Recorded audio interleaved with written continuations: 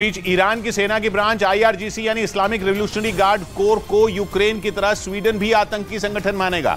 इससे पहले यूक्रेन की संसद ने आईआरजीसी के खिलाफ प्रस्ताव पारित कर इसे आतंकी संगठन करार दिया था।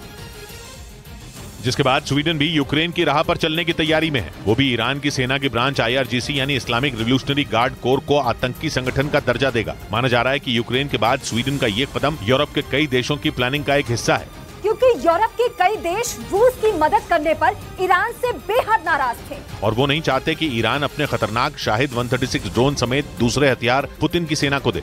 उनका आरोप है कि ईरान के घातक हथियारों की वजह से ही यूक्रेन में सैकड़ों लोगों की जान गई। इसी वजह से वो ईरान पर दबाव बनाने की कोशिश में है।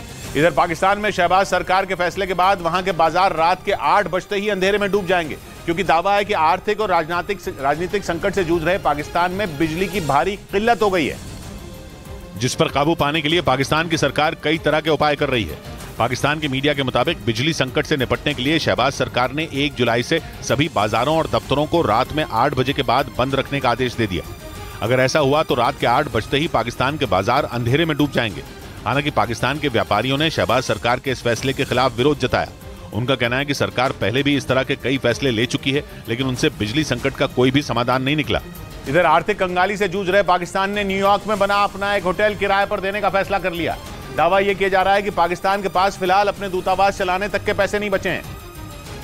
और इसीलिए वो अपनी संपत्तियाँ बेचकर या किराए पर देकर पैसे का इंतज़ाम करना चाहते हैं। पाकिस्तान के मीडिया में छपी खबरों के मुताबिक पाकिस्तान की सरकार ने न्यूयॉर्क में बने अपने मशहूर होटल रूजवेल्ट को तीन साल के लिए किराए पर देने की डील फाइनल की है।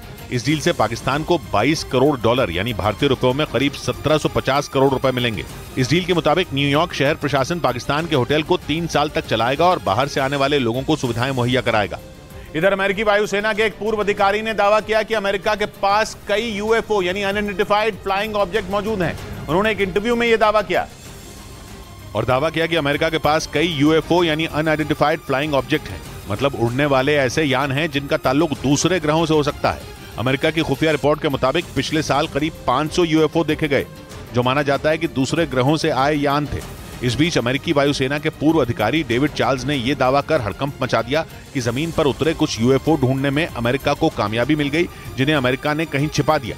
यही नहीं, उन्होंने यहाँ तक दावा कर दिया कि कुछ यूएफओ हादसे का शिकार भी हुए, जिनका मलबा इकट्ठा कर अमेरिका ने रिसर्च भी की।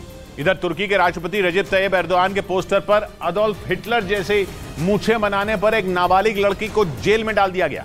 पश्चिमी मीडिया के एक रिपोर्ट के मुताबिक तुर्की में हाल के दिनों में राष्ट्रपति चुनाव हुए और इसे इसी दौरान प्रचार के लिए एर्दोआन के कई पोस्टर लगाए गए थे। और आरोप है कि तुर्की के राष्ट्रपति रजब तैयब एर्दोआन के इसी पोस्टर पर 16 साल के एक लड़के ने कलम से हिटलर की मूछे बना दी। साथ ही ये भी आरोप है कि उसने पोस्टर पर आपत्तिजनक बातें भी लिख दी। बताया गया कि जहाँ एर्दोआन के पोस्टर लगे थे उस जगह पर लगे सीसीटीवी कैमरे की मदद से नाबालिग लड़के की पहचान कर ली गई और उसे गिरफ़्तार कर लिया गया। दावा है कि पुलिस की पूछताछ में उसने पोस्टर पर मूछे बनाने की बात कबूल कर ली जिसके बाद जुवनाइल कोर्ट ने उसे राष्ट्रपति एर्दोआन के अपमान का दोषी पाया और जेल भेजने का आदेश दे दिया। इधर मुंबई के मरीन ड्राइव इलाके के एक सरकारी हॉस्टल से 19 साल की एक छात्र